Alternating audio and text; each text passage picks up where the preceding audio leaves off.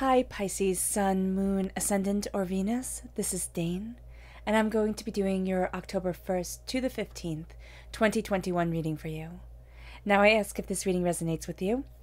Don't forget to like, comment, and subscribe.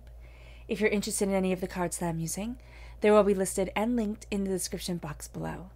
Now, before we begin this reading, let us clear the energy space, raising our own energy vibration and releasing any negativity. So, take a nice deep breath in exhaling whenever it feels comfortable for you.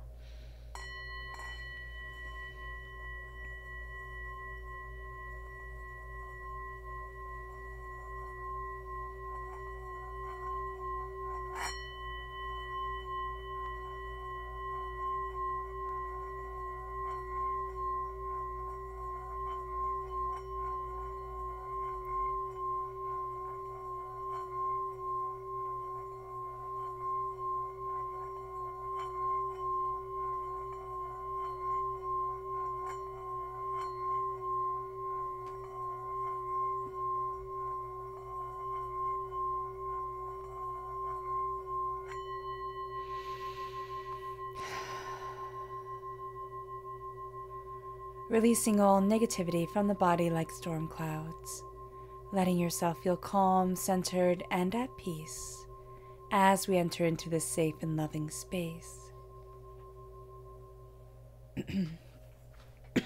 Excuse me. Let's let the bowl sing as we see what the tarot has to say.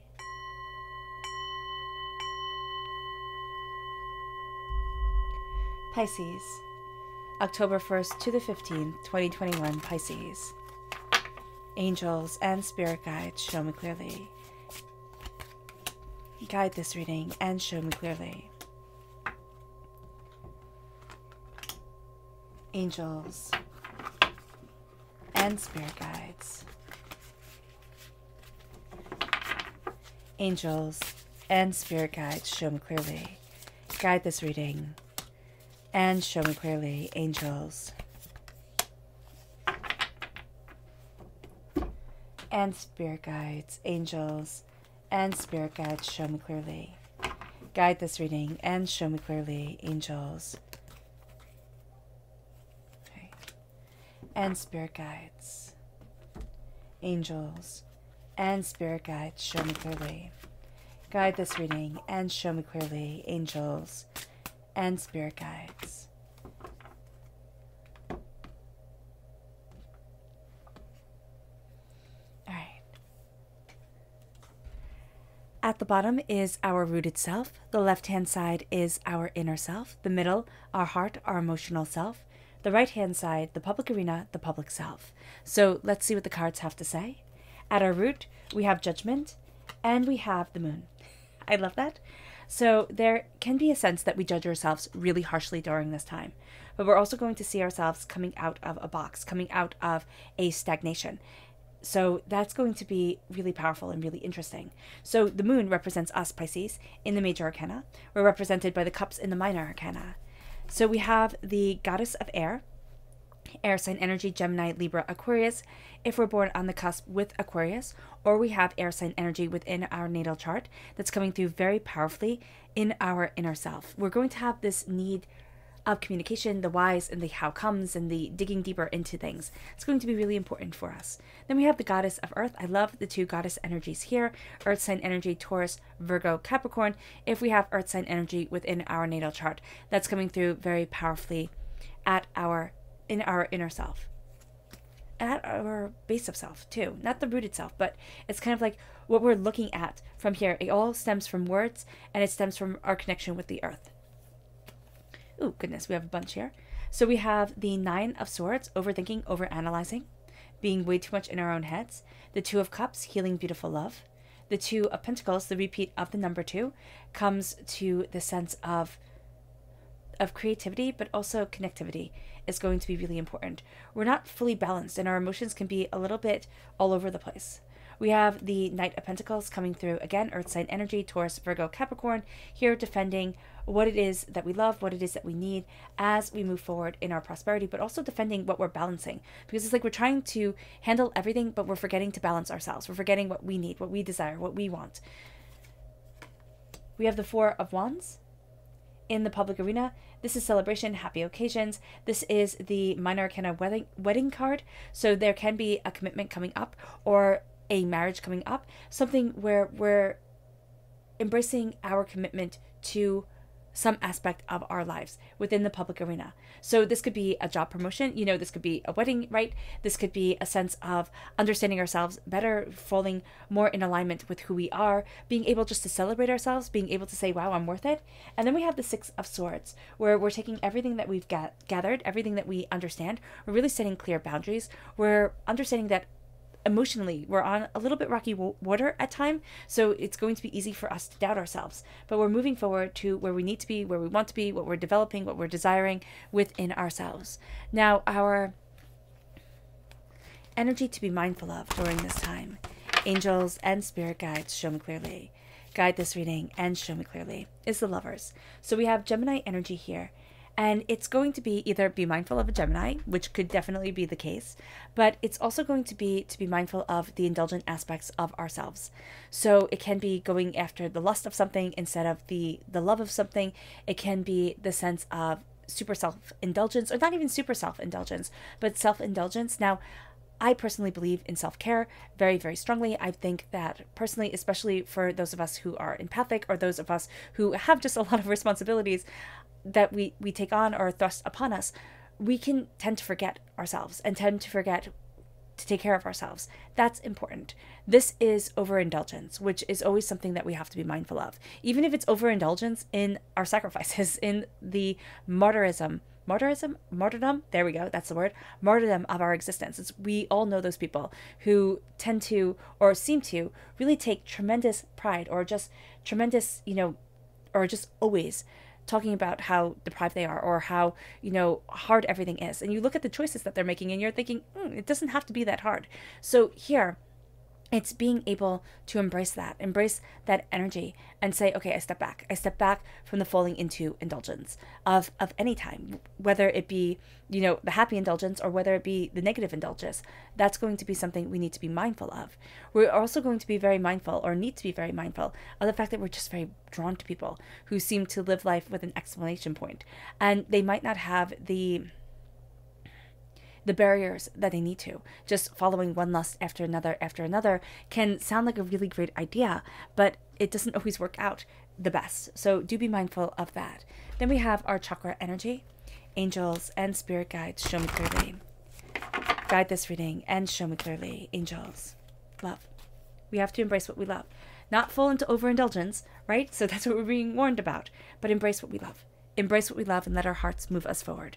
This is the heart chakra and this is saying let love guide us. You know, so often we we look at what we think we're supposed to be, what we think we're supposed to love, how we think we're supposed to move forward.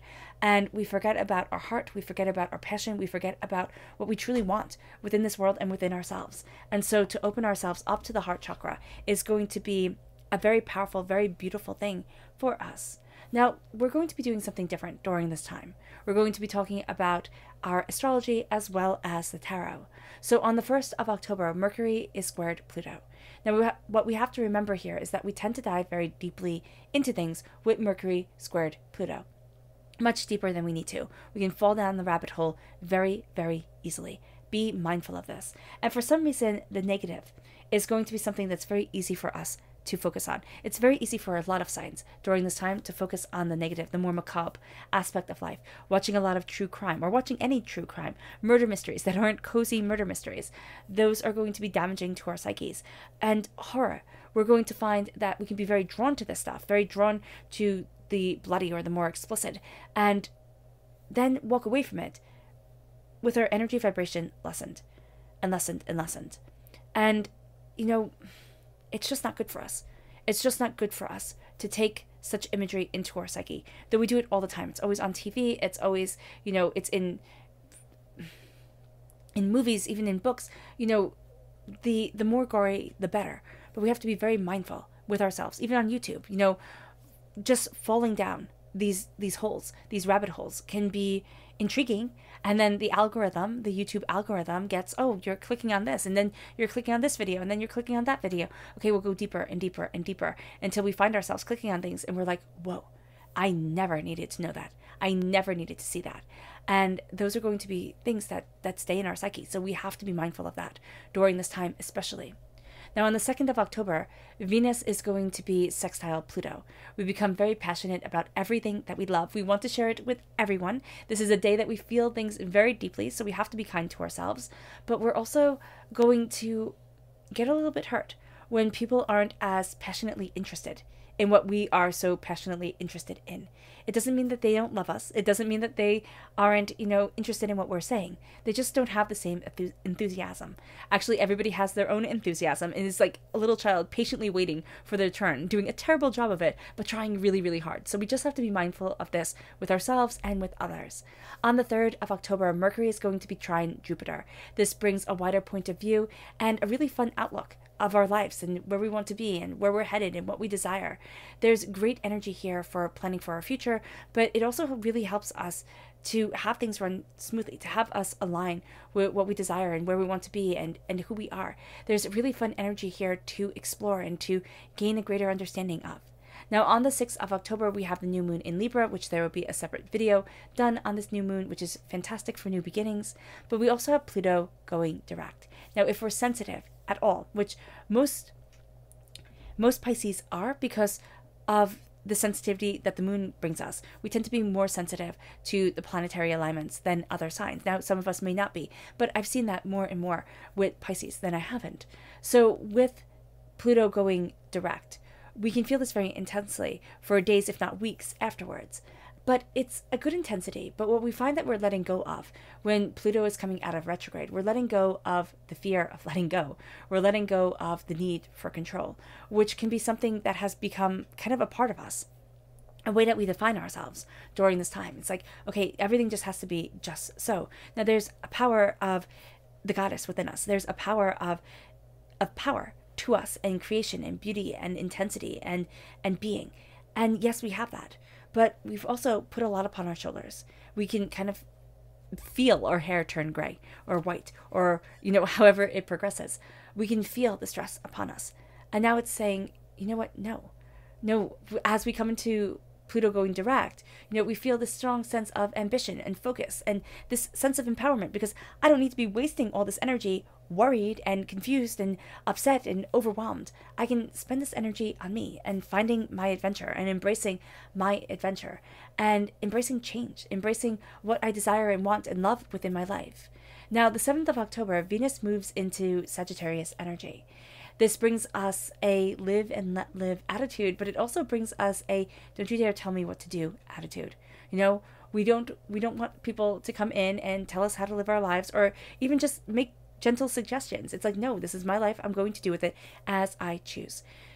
This is a day, and I don't know what day of the week it is, but this is a day where on the 7th of October, if we can take the day off, if we can take the day just for ourselves, do so. Absolutely, positively do so because it will make your life so much better. If you can't take the day off, if you have responsibilities and people that need you, which is completely understandable in most of us, take an hour to yourself, a half hour to yourself if you can. Just take time to be with you. On the 8th of October, the sun is going to be conjunct Mars, and this brings us a hero's energy, and it makes us just think that we can accomplish anything. But it also brings a bit of a temper, so do be mindful of that. But this is a really great day to start something new, to go after what we desire, to open up the doors. On the 9th of October, Venus meets with the moon in Scorpio. This opens the third eye chakra like no other. It brings us intense insights and awareness, and this is known as the gate of creativity. If there is something we're wanting to create, if there's something new we're wanting to embrace, this is the time to go after it. When Mercury conjunct Mars, we become, which is also on the 9th of October, we become quick minded, quick witted, you know, quick of reflex. This is a great time to start practicing yoga if you already practice yoga, this is a great day to practice yoga or just to embrace the flexibility of our bodies, of our minds, to kind of push ourselves out of our comfort zone. Now, we're going to be a little bit sharp tongued during this time. Do be mindful of that. We're also going to be very direct and not want to sugarcoat anything. So, that coupled with the fact that the third eye is opening, that coupled with the fact of the great gate of creativity, it's an interesting combination to say the least. So we can really be aware of our own sensitivity, our own, you know, need for creativity and, you know, kindness and and alignment with our dreams and our goals. But we're also going to think that the rest of the world needs to just hear it as it is. And unfortunately, because again, this is astrology and true for everybody, we're going to find that people tend to handle us that same exact way, where they're going to be super sensitive and yet they're going to be very direct and very blunt when it comes to them. So do be mindful of this, or very direct and blunt when they think of what we should be doing, of them giving us advice, you know, so to say, because it might not actually be very good advice. But do be mindful of this during this time. Now, on the 10th of October, Saturn becomes direct. We become more focused on our responsibilities and getting the job done. We're much more down to earth and we really become aware of our limitations, which we might think is a bad thing, but it's actually a really good thing. We start to say, you know, this I'm really good at, this I'm not. You know, this is where I excel, this is where I don't. This is just honesty and me being open with myself. And now I can move forward, embracing my successes and embracing my achievements and how I excel, and not lamenting over where I don't. We can also become really focused on our long term goals, not focused so much as things become clear. On the 13th of October, Venus is going to be sextile Saturn. This is a time for being around family and friends and really embracing what we love. Now, we can be very self sacrificing for our long term, for the long term good of our relationships. This doesn't just have to be our personal relationships, this can also be our work relationships, you know, or our work, like what we're sacrificing for what we love. The thing is, is that this isn't the time to step on every stone and to to get drained because it can be really easy for us to know that we have sacrificed for the greater good, right? And for it not to be recognized is going to be very harmful, very hurtful for us. So there needs to be this mutual respect. If there isn't this mutual respect, we we need to not be dragged down the rabbit hole of resentment. So do be mindful of that on the 15th of October. This is the best day to to end, you know, this reading, which it goes from, of course, the first first to the 15th. This is a time when the sun is going to be trine Jupiter. This makes us lucky and generous and happy, and it makes us larger than life. There's a sense of just brilliance around everyone. We can really bring intense spiritual awareness and awakening to our lives during this time, really move forward in a direction that we hadn't thought we'd be moving forward in. We love to share knowledge and ideas. We can also be a little bit too generous and too indulgent. So do be mindful of that, that we can kind of take things to the extreme during this time. Now, at our root, we have judgment.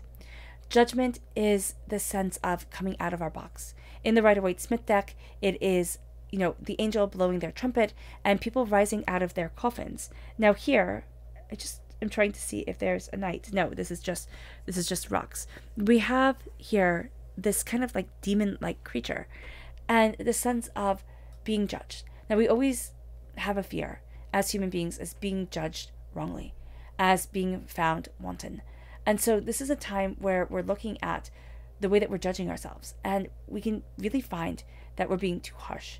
But we're also going to find that we need to step out of the box, step out of the negativity, step out of the expectations of others, step out of the the darkness that we've put ourselves in.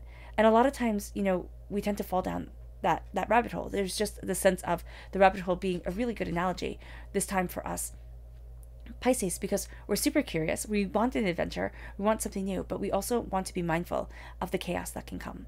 And so here we're looking at the intensity of being, the intensity of what we desire, and we're finding that we're rising out of darkness and we're rising more and more to ourselves to who we are, to who we want to be, to inspiration, to ideas, ideas and ideologies that align with us. This might be going out of the norm, most definitely, but this is a sense of us embracing who we are, where we want to be, what we love, and more importantly, coming into alignment with the very essence of our being, the very power of ourselves. And as we do this, we start to see the webs that have been been spun of communication of language, of ideas, of hopes and dreams and wishes. We can have a tendency to say things like, oh, it doesn't work for me. This works for everybody else, but it doesn't work for me. And we're going to need to really be mindful of the language that we're using during this time because we need to set ourselves, we need to start casting new thread. We need to start new, weaving a new pattern where it isn't that everything is harder for us, is that we don't fully understand the struggles of others, because we're so good as human beings of putting on this mask and saying, oh, this worked for me, or oh, this is so fantastic. But we can also judge success and sadness differently. You know, for one person, sadness can be another person's good day. You know, a person can say, "Oh, I'm really sad," and a person who may be suffering from depression or you know having a really hard time in life might be like, "That's that's a fantastic day. Like, how could you be sad about this?" We have to be very mindful of what we're comparing ourselves to and how we're comparing ourselves to these people. We also have to be mindful of the words that we're saying and what we are creating, the world that we are creating around us, because our worlds are only based off of our words and our perceptions. And that's going to be a really powerful thing that we come to the conclusion of during this time. It's like I get to craft the world around me. I get to weave the web. Now, yes, there are some things in life that are out of our control. We could be working in a place that we don't really like. We could be undervalued, you know, underappreciated, and those are going to be things that we need to to address most definitely and see how to elevate ourselves because we're embracing this land of milk and honey this land of prosperity and sweetness and beauty and success and power and insight and understanding. We're embracing this tenacity of being and this connection with our earth as we have this connection with our voice. We become the creators of richness. We become the creators of power. And as we do so, our head will get in the way. Now, I don't know why there is this darkness or moroseness around us, Pisces, but what we have here is the sense of doubt and fear and chaos and hurt and pain and nightmares. And all I'm going to get if I follow my dreams, all I'm going to get if I start to rise up is is doubt is fear, is being hit back down, is not getting to the place that I want to be. And this is going to be a time where we start to look at that very differently. we start to look at the fears and the nightmares that hold us back because the world, well, they're not seeing it. The outside world is not seeing the inside struggle. And yet our inner self is saying, you can have the world. Like you are the goddess here. Embrace this goddess energy. Embrace the sacred feminine energy. It doesn't matter how you identify yourself or what pronoun you use. What matters is that there's this creative, brilliant essence to you that is saying, you know, utilize me. Utilize me and work with me and open up these doors and see that the world is so much more than we thought it was. And yet we have the same old doubts and fears coming in that says, oh no, this isn't for me. This is for somebody else. Oh no, I couldn't possibly. And yet there's a unity and a healing that comes into play. The balancing of the sacred feminine and the sacred masculine, the balancing of our dreams and our wishes, the coming together with healing, with love, with insight, with ideas. And it brings us to this place where we start to see that emotionally things are out of balance. Now, it can be around money or our idea of of prosperity, but it's also going to be emotional. A lot of this is going to be emotional. And we're going to need to find that we need to plant our feet firmly on the ground and understand what we want, understand what we're balancing for, you know, understand not what we're balancing for, what we're gaining our balance over. Saying, you know, this is where I need to be. This is what I desire in my life. This is how I'm opening up my door by firmly planting my feet on the ground, firmly embracing who I am and what I want and what I desire being and where I desire going. And then I can balance things because there's always going to be a little bit of trickery in our lives. There's always going to be things that aren't said or, you know, that people will say, oh, well, that's implied. And it's kind of almost like politicians speak, you know, when they can say everything and yet nothing at the same exact time. That's what we're going to feel like in life. It's like, can't things just be made clear? And what we have to understand is that by coming into unity and harmony and balance within ourselves, things become clearer. Things become more open and real, becoming, you know, upfront with what we're scared of and what we're overwhelmed by by speaking to a professional or speaking to people who love and care for us. Though sometimes that can be frustrating because they could be like, well, just snap out of it. You know, things aren't as bad. Get out of your own head. But sometimes when we're down that spiral, when we're stuck in our own heads and in our own chaos, it can be really, really hard. And so here, we're going to have to come to the conclusion that we are slowly and steadily moving forward. That prosperity is a part of our identity and of ourselves. That we're not moving as quickly as we'd want to, no, we're not. But that there is a power and a richness and a beauty and an intensity to us that needs to be seen, that needs to be acknowledged. We need to start seeing this within us. And if we just can't see this, we're going to need to reach out for somebody to be able to guide us, to be able to help us, to be able to embrace this healing power. Now it moves us to the Four of Wands. A Four of Wands is happy occasions, celebration, love, happiness, success, bounty, beauty, new job opportunities, moving house. You know, an adventure is coming. We just have to make it.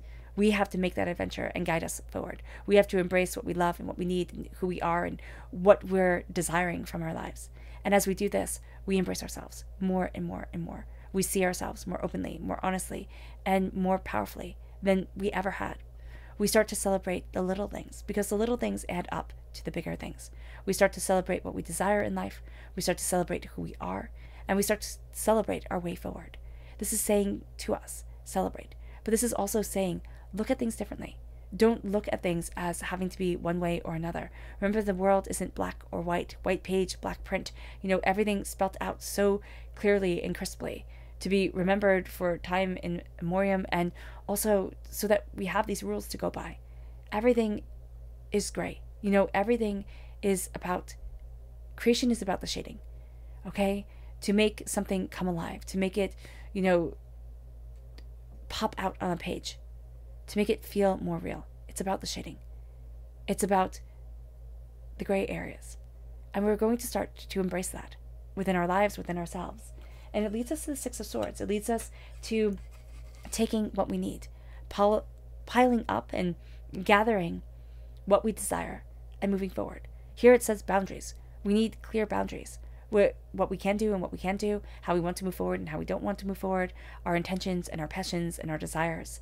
But we also need to follow our emotions, follow our spiritual self. We need to know that the road will not always be smooth. It will be a little choppy at times, but we have to embrace, you know, the journey to come. And that's really important because it's going to be really interesting that where we think we're ending up is not going to be actually what transpires during this time. There's going to be something beautiful. There's going to be something more in alignment with our souls and ourselves that come forward. And we're going to start to celebrate it. We're going to need to celebrate it to move past darkness and to align ourselves with the goddess within. Now, our subconscious energy to be mindful of is the King of Wands. The King of Wands is fire sign energy, Aries, Leo, Sagittarius.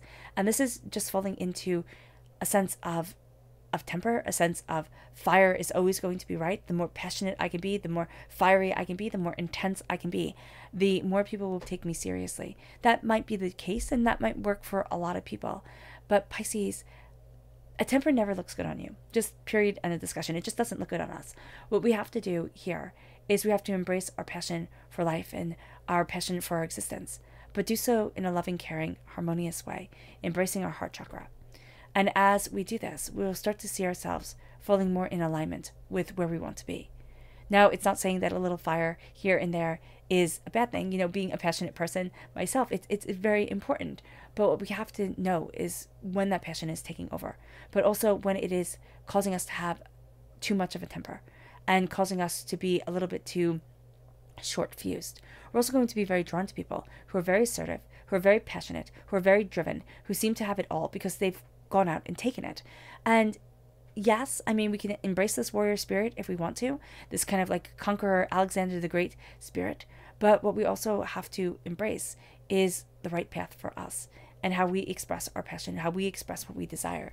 It moves us to our subconscious chakra energy,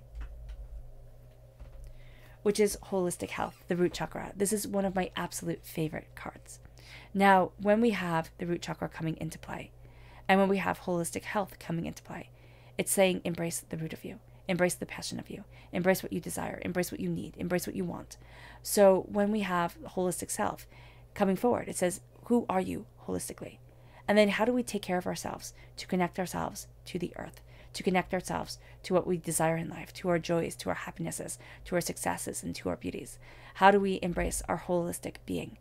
And this is saying things like make sure you eat properly, make sure you're not drinking too much, make sure, you know, alcohol, make sure that you're getting proper sleep, and make sure that you are in alignment with who you are.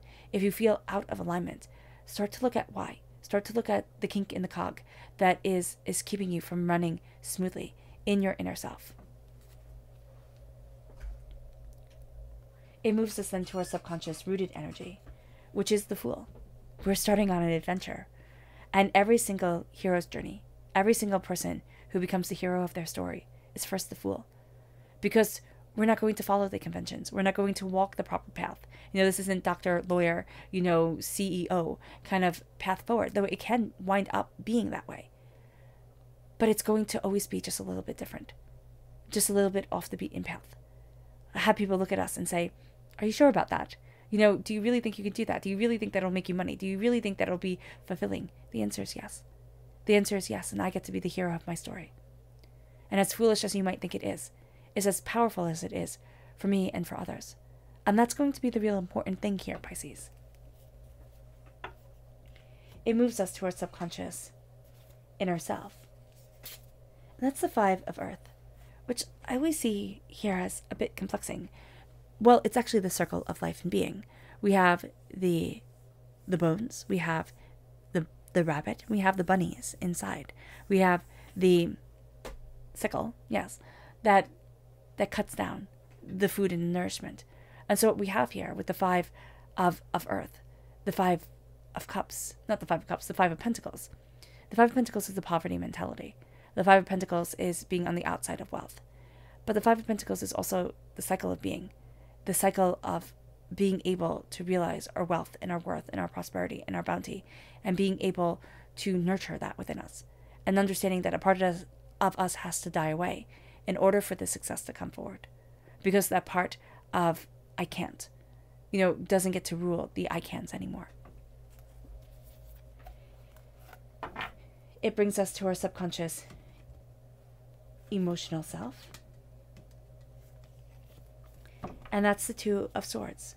We have a choice to make. Actually, it's not a choice to make. It is understanding that a road is opening up that we never realized before. Oh, that is so funny. It's it's understanding that we're looking at things as black or white. You know, white page, black print, everything being spelled out a very certain way. And yet a new road, a new pathway is opening up. A new passion, a new power, a new greatness. And this isn't being held back the way that we thought we were. This is this is something more coming forward. And as we embrace this, our subconscious public arena self is the Four of Pentacles. It says here stability. But it's embracing stability through the releasing of vampiric energy, always with the Four of Pentacles. I see this as vampiric energy, where we have to guard our chakras, where we have to, you know, hold on to what we have because we're afraid that we won't have it anymore. And it's not being foolish with our money, it's being mindful and practical and prosperous, but it's also grounding ourselves in our success, in our bounty, in what we want and what we need, and understanding where people are stealing this energy from us where we feel overwhelmed, where we feel denied, where we feel, you know, pain. This vampiric energy that says we can't starts coming in, starts draining us. And now we're going to start to see ourselves quite differently because we're becoming aware of it. And as we become aware of it, it's like, why does this energy get to drain me? Why does this get to have control over my life? I get to step into the light and the beauty of me. All right. All right, Pisces. I hope this reading has resonated with you. I wish you nothing but light, love, peace, and happiness. May harmony always be with you. I'm sending loving, healing energy to each and every one of you. I love you all and stay safe. Let's end this reading with a meditation, a clearing away of negative energy, a raising of our positive energy as we embrace the goddess within it. So take a nice deep breath in, exhaling whenever it feels comfortable for you.